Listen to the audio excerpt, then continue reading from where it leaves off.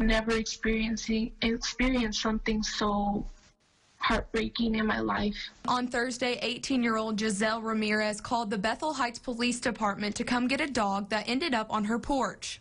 It just really hurts me because all we wanted to do was help her, and they had to come and do that to her. Bethel Heights officer Stan Young responded to the call and went to the Ramirez's home. They asked me if the dog was vicious, and I told them that no, she wasn't.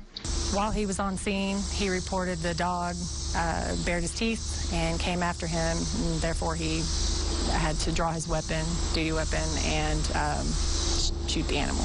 According to Bethel Heights Corporal Chastity Mahan, Officer Young shot the dog in the leg. In no moment did I hear the the dog growl or like I didn't hear her bark or growl at him. Corporal Mahan could only give us limited information as they are still investigating, but says when the chief gets back, he will look at all sides of the story. To make sure that everybody's integrity is intact and that the community is safe, um, because that's that's really the big picture. Ramirez says she wants Officer Young to face consequences for shooting the dog. I I couldn't sleep.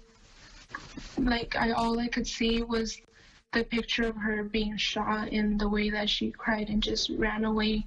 It just really hurt me. I knew what that what he had done was wrong.